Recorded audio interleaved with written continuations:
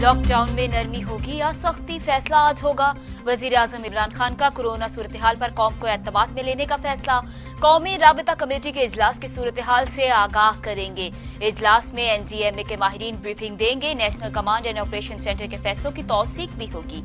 Train service को मजीद फाल करने पर मुशावरत की जाएगी।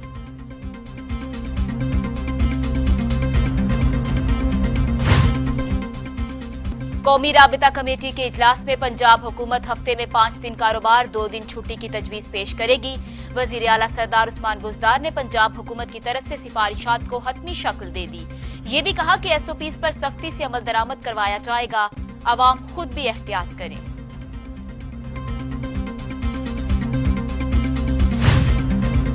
पाकिस्तान में लॉकडाउन में नरमी, गले पड़ गई। 24 घंटों में रिकॉर्ड 60 अमवात कोरोना से हलाकतों की तादाद एक हज़ार पाँच सौ तैंतालीस हो गई।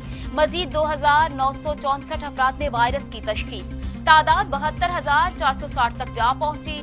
सिंध में चार सौ इक्यासी, पंजाब में नौ सौ सतानवे, खैबर पख्तूनख्वा में चार सौ तिहत्तर, बलोचिस्तान में सैंतालीस, गिलगित बल्तिस्तान में ग्यारह, आज़ाद कश्मीर में छह और इस्लामाबाद में अट्ठाईस मरीजों का इंतकाल। दुनिया भर में कोरोना के तेज बार तीन लाख तिहत्तर हज़ार अम्बाद मरीज़, बासठ लाख सड़सठ हज़ार हो चुके। अमेरिका में एक लाख छह हज़ार, बरतानिया में अड़तीस हज़ार चार सौ नवासी, इटली में तैंतीस हज़ार चार सौ पंद्रह, स्पेन में सत्ताईस हज़ार एक सौ सत्ताईस, फ्रांस में अट्ठाईस हज़ार आठ सौ दो, भारत में पाँच हज़ार चार सौ आठ टर्की में चार हज़ार पाँच सौ चालीस, ईरान में सात हज़ार नौ सौ सतानवे और ब्राज़ील में उनतीस हज़ार तीन सौ इकतालीस हलाकतें।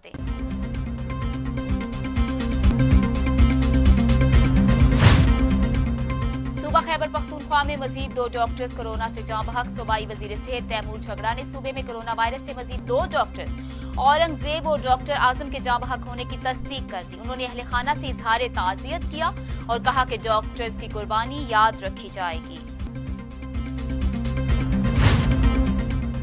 लॉकडाउन के बारे अफवाहों पर कार न धरे, सिंध हुकूमत ने आवाम से अपील कर दी। तर्जुमान मुर्तजा वहाब कहते हैं, फैसला जो भी हुआ, विफाकी हुकूमत की मुशावरत से होगा।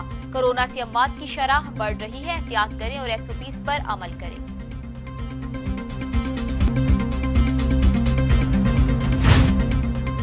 रेलवे के महदूद ऑपरेशन में मजीद 10 ट्रेनें शामिल, जिसके बाद रोज़ाना चलने वाली ट्रेनों की तादाद 40 हो गई।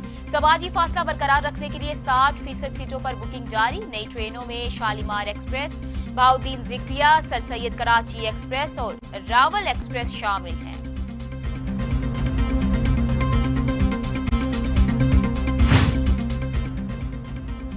और डॉक्टर ज़फ़र मिर्ज़ा कहते हैं, पाकिस्तान में कोरोना के मकामी मुंतकली के केसेस में इजाफा हुआ। तशखीस के लिए 24 घंटों में पंद्रह हज़ार टेस्ट किए गए हैं।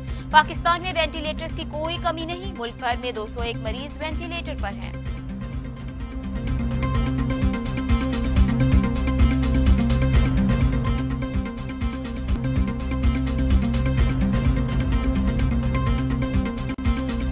असलम टीवी टुडे के साथ मैं हूँ मरियम खुर्शीद। हेडलाइंस आपने जानी न्यूज़ स्टूडियो से फिल वक्त इतना ही मजीद खबरों और तफसीत के लिए देखते रहे टीवी टुडे खबर सबसे पहले।